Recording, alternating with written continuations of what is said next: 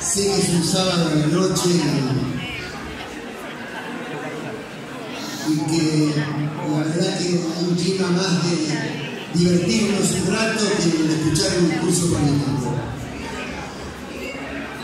Agradecer, agradecerle a, a Teresa, expresar el honor de haber escuchado a, a Tati y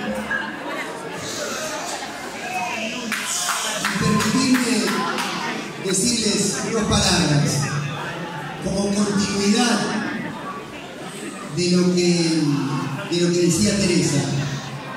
Porque, fíjense, por un momento puede parecer contradictorio y muchos medios nos van a empujar a que parezca contradictorio decir que tenemos que ganar y al mismo tiempo decir que tiene que haber un, algunos límites en la construcción de las alianzas.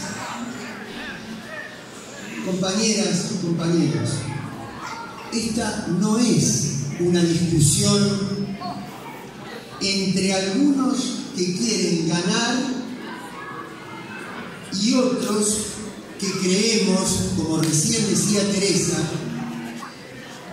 que hay que hacer una gran alianza y construir una gran mayoría con el pueblo, pero no hay que olvidarse de aquellos dirigentes que diciéndose compañeros le abrieron las puertas con sus votaciones a las leyes fundamentales de este proceso que estamos viviendo. ¿Por qué? Porque ganar, como todos queremos ganar, esta es una discusión de cuál es, no es entre los que quieren ganar y aquellos que nos quieran hacer aparecer con alguna pista de sectarismo. No, es construir el mejor camino para ganar. Pero para ganar y hacer lo contrario de este modelo. Porque hubo algunas alianzas que ganaron y después derrocaron a los presidentes. Al presidente de Paraguay, Lugo, lo derrocó su vicepresidente, no la oposición. A la presidenta de Brasil no la derrocó la oposición, la derrocó su vicepresidente. Al expresidente de Ecuador, la interna se lo hizo uno de sus ex vicepresidentes. Quiere decir que la alianza que hay que hacer es amplia en el sentido de contagiarle al pueblo las alianzas no se construyen desde la matemática. Ustedes vieron que hay algunos que dicen, si nosotros sacamos esto, el otro sacó otros tres y el otro sacó ocho, sumamos 30 más 3 más 8 y eso es una suma aritmética. La política no es matemática.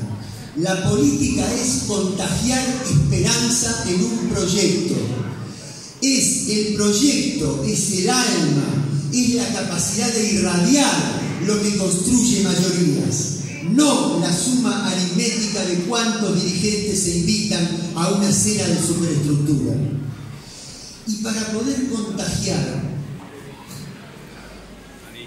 lo primero, decirles, estamos viviendo, ¿para qué les voy a agregar lo que ustedes ya saben? Pero son días muy difíciles.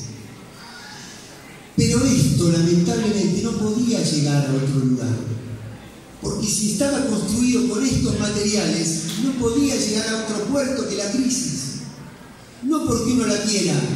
¿A quién le gusta vivir en crisis? Y además las crisis para lo que se le hace más pesada es para los humildes y para los vulnerables. Pero no había otro camino.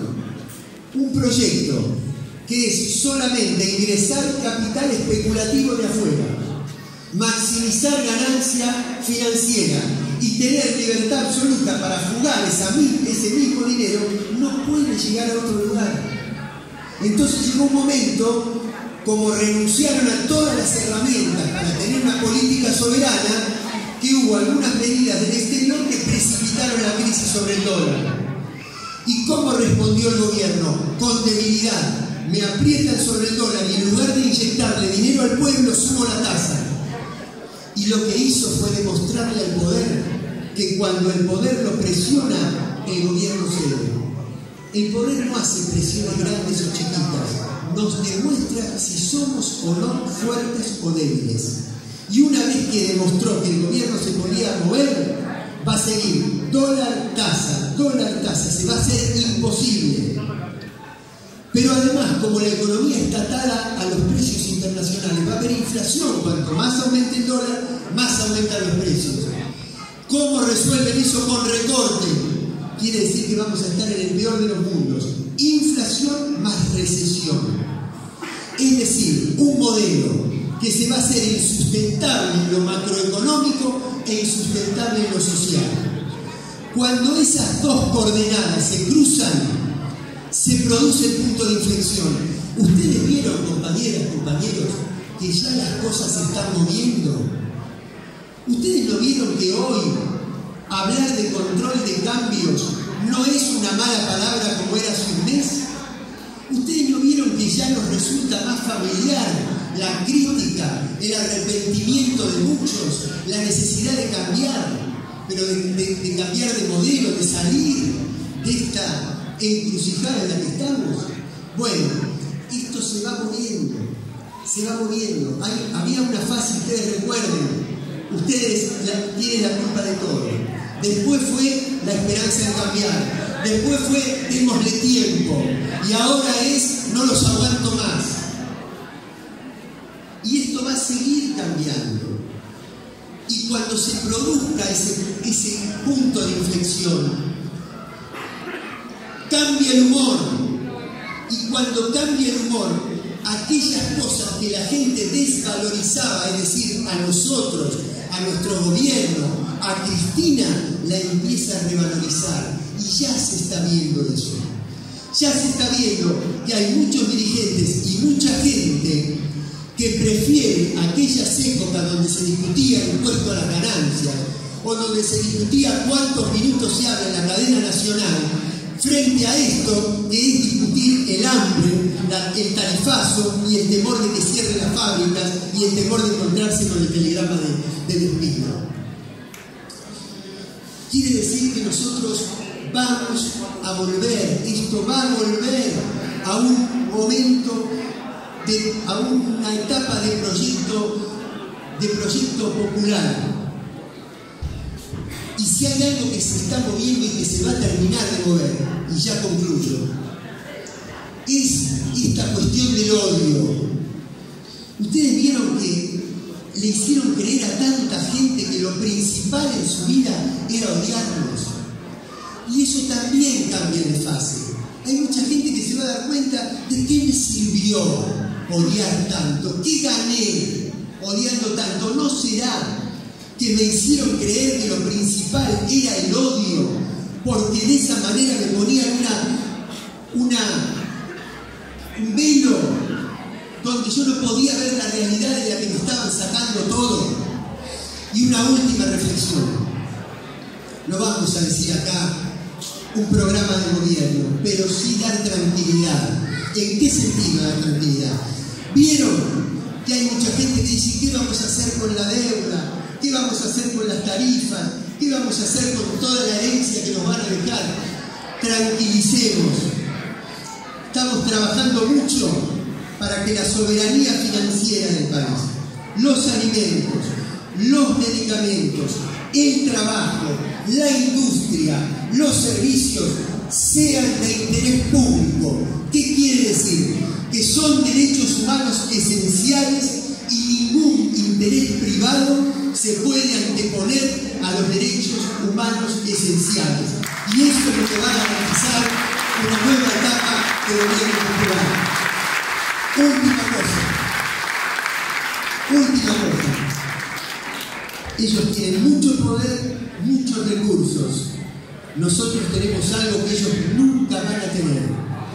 la certeza de que luchamos por las causas más nobles, la moral de lucha intacta, la organización intacta y el liderazgo de Cristina Fernández de Kirchner. Es